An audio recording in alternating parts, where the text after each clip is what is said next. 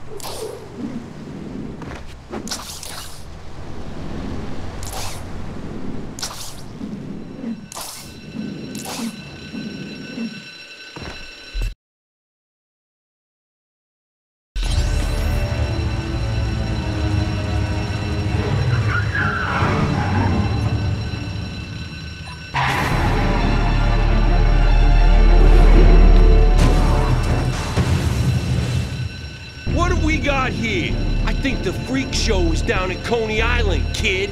Am I supposed to laugh at that one? I just popped in to introduce myself. The name's Spider-Man, creep, and you'll be thinking about me a lot from inside of a jail cell. You're gonna be sorry you messed with us, spider freak. Robbing this bank may be all about business, but we're gonna take you out for free. For free, you say? And here I was all worried because I left my spider wallet in the other costume. Let's squash this bug and get the loot.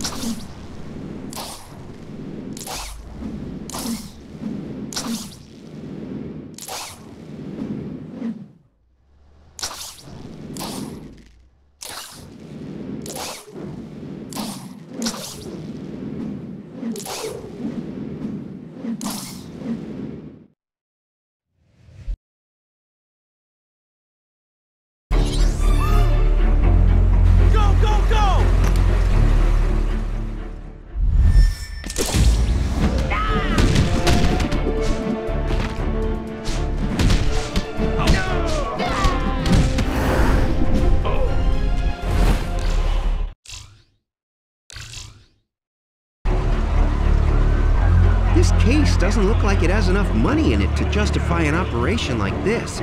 These guys must have been after something else. But what? You, in the costume! Put your hands up, now! Hey, I'm not with them. I'm a good guy. I stopped this robbery. If you do not comply, we are prepared to use force! You have three seconds! Yikes. I better skitter away. I guess the NYPD isn't quite ready for a web shooting friend in a mask. Why can't they understand that I'm one of the good guys?